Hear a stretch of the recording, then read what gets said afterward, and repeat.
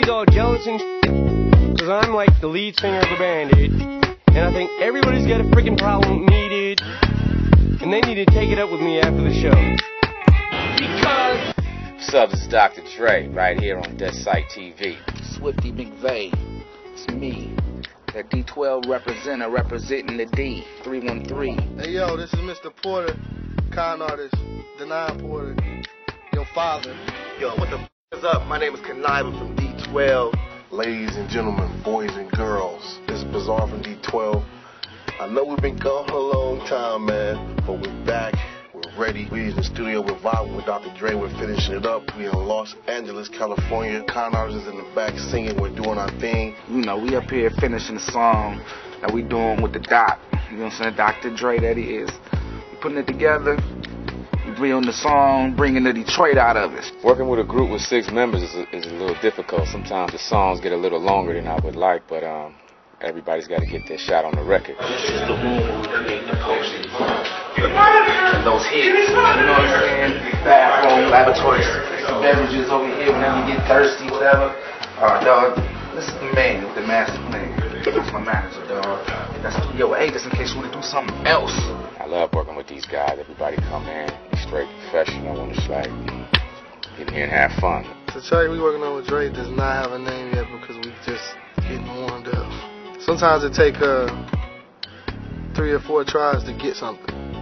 So, you know what I mean? It's, it's not necessarily a, a you come in and you got a Dr. Dre track and shit. You gotta give them time to warm up. We gotta warm up. Man, take a minute. Day was like an inter- introductory day. You know, we ain't seen each other in like a couple years, so we just kick in and vibing, and he listened to the album. Dre checks the album out, and uh, he uh, listens to see what we don't have.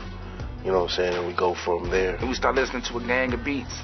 I'm talking about, man, it's just, it was so many dope beats going through our ear, it was just hard to pick. It's a, a difficult process because there's so many different opinions. There's six people in the group, so one person might like one track, and the other person like this one. So we just end up going in the back and fighting about it. It's kind of difficult when you come in and you got to go for something specific opposed to just coming in and just going. So we'll put our heads together and see what happens. Dre, you know what I'm saying? He put the spirit of perfectionist in me to the ninth power. It's like laid back, calm. You know what I'm saying? You ain't got to rush. Take your time and let's get it done. Dre just bring the best out of people. That's his job. He's a producer. You know what I'm saying? He, he's a he, he makes a product of an environment grow. You've been a big influence on, on me as an artist, personally, him and NWA. So, you know, you you kind of starstruck for a minute because you're like, man, I'm in here with Dr. Dre, man. I got to make sure my shit is tight.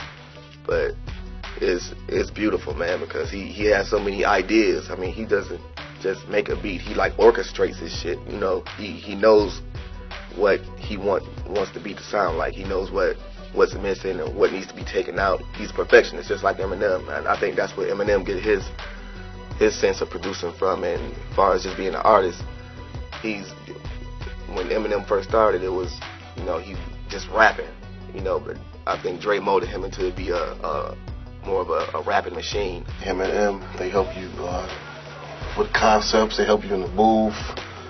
I mean, you know, overall, they, you know, what I'm saying Dre's just a hell of a producer, and I'm just, you know, glad I had an opportunity to be here to work with him. Gonna let Dr. Dre be Dr. Dre.